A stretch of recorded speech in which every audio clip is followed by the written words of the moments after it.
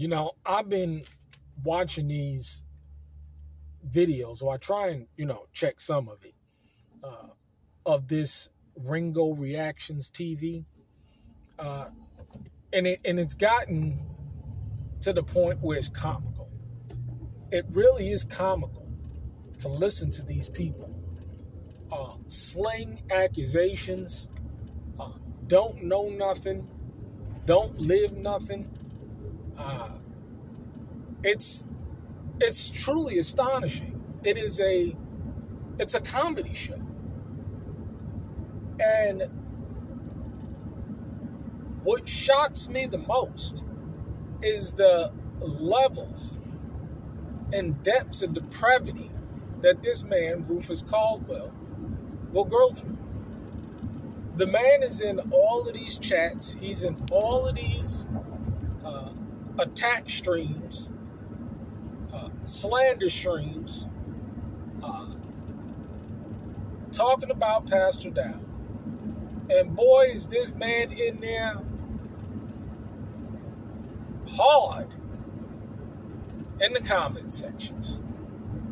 Let me tell you, uh, this man hasn't repented of anything. He is not sorry for anything. The man is totally 100% justified. And this is the clearest example of a, a delusional reprobate mind. Did you know this man took all of the money, other people's money, and you know what he's doing with it? He's he's purchasing video equipment for Ringo TV for his studio with other people's money.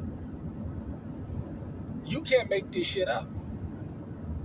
The man is, it, it, please, somebody stop me if I'm wrong. Uh, but this is other people's money. He didn't earn that money at all. And and people seem to want to not acknowledge this one simple fact. But he's giving this money away to help continue to facilitate the slander uh, of his once former beloved uh, uh, elect man of Yah. That, that's what he say? Uh, the man that he claimed that he loved uh, dearly, the man that gave him shelter uh, in his time of need, and and put out the call for others to help in his time of need.